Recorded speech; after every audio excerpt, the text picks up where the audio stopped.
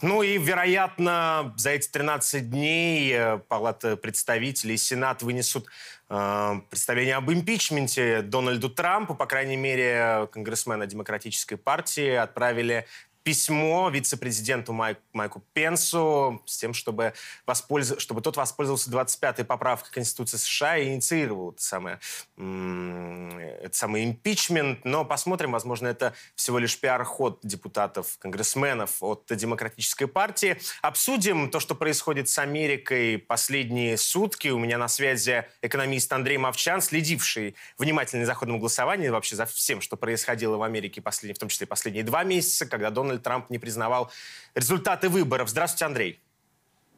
Добрый день. Я прошу прощения за мой вид. Я сижу на Кипре, э, и здесь погода не располагает к тому, чтобы быть более формальным и сосредоточенным.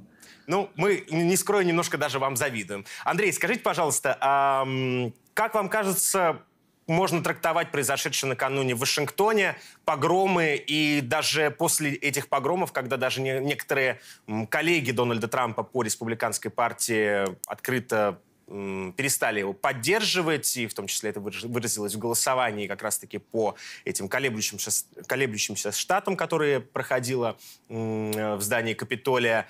А, при этом сам Дональд Трамп не отказывается от своей линии, он говорит, что результаты выборов по-прежнему не признает. Как это все расценивать? Ну, э, смотрите, давайте, во-первых, это не будем переоценивать. Э, если вы помните, 4 года назад, когда Трамп был избран, э, протесты были тоже очень бурными. Можно по аналогии сказать, что эти протесты были инспирированы демократами, хотя я не стал бы так говорить, это неправильно. Но, тем не менее, больше чем 25 городов было охвачено протестами. Несколько недель протесты шли. В одном Орландо было более 40 домов сожжено во время этих протестов многочисленные сотрудники полиции были ранены, граждане были ранены и так далее. То есть, в принципе, фигура Трампа, видимо, вызывает подобную ситуацию. И тут уж не важно, кто инициатор, а кто, кто не инициатор. Значит, Трамп выиграл 4 года назад, э, инициаторами были, э, была оппозиция, сейчас Трамп проиграл, инициаторы опять оппозиция. Оппозиции, наверное, такая печальная роль инициировать протест. Вот. То, что сейчас происходит, надо сказать, заметно более мягко, чем это было 4 года назад. А вообще Америка – это же страна протестов, причем протестов достаточно агрессивных. Если вы почитаете, ну, даже хотя бы Википедию, да, то вы увидите более чем 40 э, примеров активных агрессивных протестов за последние 10 лет, которые проходили в Америке, включая, например, Occupy Wall-Street, где было всего арестовано почти тысяча человек в конечном итоге, да, включая там протесты в Висконсине, где в течение пары недель, по-моему, или даже больше – местные органы власти удерживались протестующими и так далее, и так далее. Но это плата за американскую форму демократии, к этому нужно относиться спокойнее. И понятно, что поверх этого и на фоне этого, конечно, те, кто выступает против протестующих, будут сгущать краски, будут говорить, как ужасно, будут обвинять в попытке государственного переворота и так далее. Это форма политики. И вот сейчас я смотрю вместе с вами на ваши же кадры из эфира и вижу на американских флагах орлов – орлов очень похожих на римские орлы. А, Америка – это, конечно, калька, успешная калька с Древнего Рима с точки зрения управления. Ну и вспомните курс школьной истории, сколько раз Курия Сената в Древнем Риме была захвачена толпой, просто потому что двухпартийная система предполагает подобные проблемы и протесты. В общем, ничего специфического или ничего, что требует какого-то особенного отношения или изменения взгляда на Америку, я в этом не вижу. То есть даже захват Капитолия вам таким событием не кажется? Нет, не кажется, а вам кажется, разве что-то сильно изменилось. Капитолий же, смотрите, мы, как эм, люди, привыкшие жить в России, мы привыкли относиться к органам власти как к божественным местам, как к храмам, да, а к чиновникам, которые власть осуществляют, как к богам, которые в этих храмах обитают. Конечно, захват храма – это действие по десакрализации и выглядит для нас ужасно. Но э, здание Сената в Америке – это всего лишь офисное здание – вы в обычное время достаточно легко можете туда попасть, зайти, погулять, походить, посмотреть. Это вам не Государственная Дума. А, и в этом смысле, конечно, Америка значительно здоровее. А, захват э, Капитолия, да, это, это неприятное событие, но это как, например, захват здания ЦУМа в Москве. Ну да, это тоже будет неприятное событие, но это не пошатнет основу государственности. Ну, то есть э, по-вашему, никаких долгоиграющих последствий или близкоиграющих последствий эти протесты, то, что мы наблюдали э, накануне в Вашингтоне, не несет в себе? Я не думаю, что э, наше представление об Америке должно как-то измениться, и наши ожидания от событий, которые будут происходить в Америке, должны как-то измениться. Америка – страна э, развитой демократии в хорошем и в плохом смысле этого слова. Америка – страна радикальной двухпартийной системы в хорошем и в плохом смысле этого слова. Америка – это страна, в которой уровень насилия всегда был несколько выше, чем в Европе, и сейчас остается выше, чем в Европе, уровень агрессии внутренний выше, чем в Европе. Мы это знали, мы это будем знать, э, но если кто-то этого не знал, пусть увидит это сейчас, наконец. Как вам кажется, какое будущее ждет Дональда Трампа? По всей видимости, оставлять политику, как это принято с последними было президентами Соединенных Штатов, даже если они всего лишь 4 года находились э, на прези... э, у власти, а потом не переизбирались, они, как правило, уходили на, потом... на покой. Дональд Трамп, очевидно, этого делать не собирается. Как вам кажется, каков у него план дальнейший? Я не знаю, как я могу судить, какой план у Дональда Трампа. Дональд Трамп большинством э, даже своих э, соратников по партии сейчас считается loose cannon, да, то есть человеком плохо предсказуемым и на котором сложно полагаться. Кроме того, его четыре года у власти показали, что он э, как был, так и остался новичком в большой американской политике, новичком, который неэффективен с точки зрения ее проведения.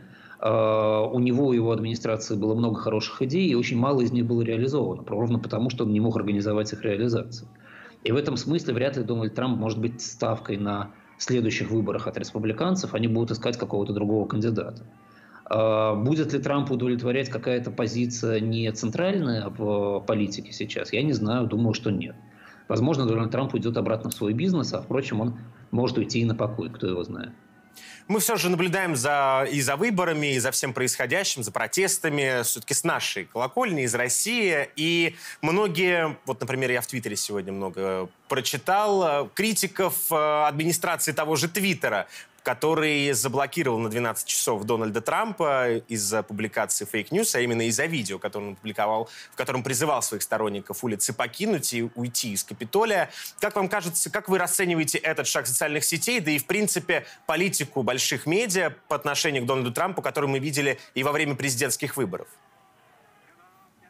Эм, я вообще, честно говоря, э, ну, насколько обыватель типа меня может быть озабочен политикой крупных игроков медиарынка, настолько я озабочен политикой крупных медиа и, и в Штатах в том числе. И я понимаю, что это звучит смешно, потому что я не живу в Соединенных Штатах Америки, я не делаю бизнес в Америке. И, казалось бы, какое мое дело? Да? Я чистый наблюдатель в данном случае. Но я так же точно, как и те, о ком вы сейчас говорили, считаю, что это вредно для развития демократии, вредно для развития Соединенных Штатов Америки. Нельзя блокировать э, мнение человека просто потому, что у него такая фамилия или такой комплекс убеждений.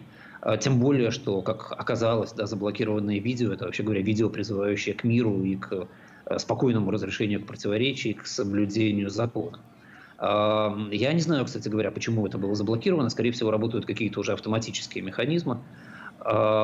И это еще одна огромная проблема, в которой мы сейчас находимся. Мы живем в э, гиперсистематизированном мире, в мире, в котором э, человек потихоньку теряет свои естественные свойства для внешнего мира и приобретает набор некоторых искусственных свойств рейтинга – в Китае это выражено сейчас уже там законодательно, во всем мире это потихоньку происходит, но законодательно пока не утверждено. Мы перестаем быть нами со всей нашей э, необычностью и индивидуальностью и начинаем становиться частью большого социального рейтинга, который просчитал некий робот в социальной сети. Э, и если этот рейтинг вообще не отражает нашу персоналию, то значит так тому и быть, потому что никто не будет тратить время на индивидуальный подсчет. Я думаю, что это проблема проблема на ближайшие десятилетия? Возможно.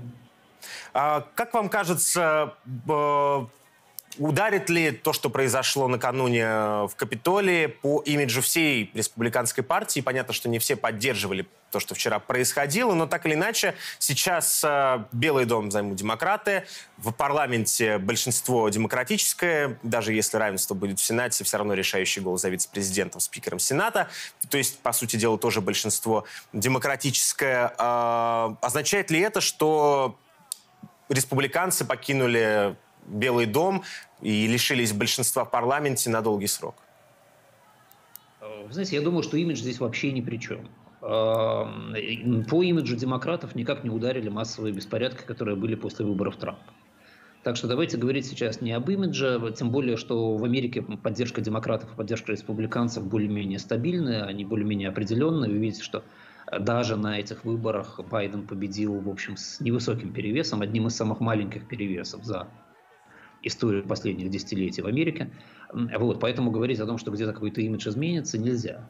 Э, республиканцы действительно э, теряют контроль, эм, и в каком-то смысле для них это сейчас очень хорошо и полезно, потому что демократы получают контроль в достаточно тяжелый момент, когда нужно принимать решения, которые, в общем, демократы в последнее время принимать были не в состоянии. Э, решения достаточно жесткие по увеличению эффективности деятельности органов власти в стране, и бизнеса в стране, и налоговой политики в стране и так далее.